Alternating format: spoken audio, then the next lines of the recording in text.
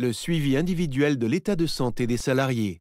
Efficience Santé au Travail vous informe sur les nouvelles dispositions de la loi du 8 août 2016 et de son décret d'application. Les modalités du suivi individuel de l'état de santé des salariés évoluent pour s'adapter à la fois au monde du travail et à la situation de chaque salarié, qu'il soit en CDI ou en CDD. La visite médicale devient la visite individuelle d'information et de prévention. La visite individuelle d'information et de prévention concerne tous les salariés qui ne bénéficient pas d'un suivi individuel renforcé de leur état de santé. La visite individuelle d'information et de prévention est assurée par le médecin du travail ou sous son autorité par un professionnel de santé. Collaborateur médecin, interne en médecine du travail, infirmier en santé au travail. À vous interroger sur votre état de santé, à vous informer sur les risques éventuels auxquels vous expose votre poste de travail, à vous sensibiliser sur les moyens de prévention à mettre en œuvre, à identifier si votre état de santé ou les risques auxquels vous êtes exposé nécessitent une orientation vers le médecin du travail, à vous informer sur la possibilité dont vous disposez à tout moment de bénéficier d'une visite avec le médecin du travail. Elle doit avoir lieu dans un délai qui n'excède pas trois mois à compter de la prise effective de votre poste de travail. Si vous êtes apprenti, le délai est de deux mois à compter de la prise effective du poste de travail.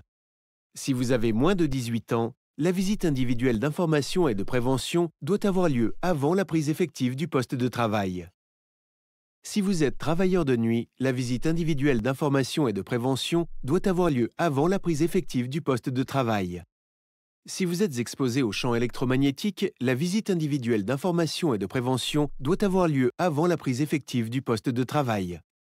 Si vous êtes exposé aux agents biologiques du groupe 2, la visite individuelle d'information et de prévention doit avoir lieu avant la prise effective du poste de travail. Si vous êtes enceinte, allaitante ou venez d'accoucher, vous pouvez être orienté à tout moment vers le médecin du travail.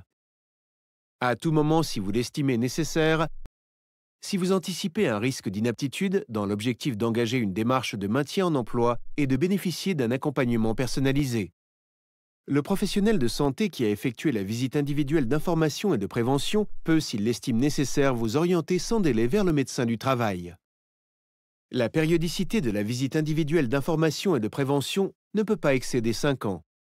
3 ans si le médecin du travail le décide. 3 ans si vous êtes une personne handicapée si vous êtes titulaire d'une pension d'invalidité et si vous êtes travailleur de nuit. Si vous venez pour la première fois, votre dossier médical en santé au travail est ouvert si vous ne l'avez pas fait transférer.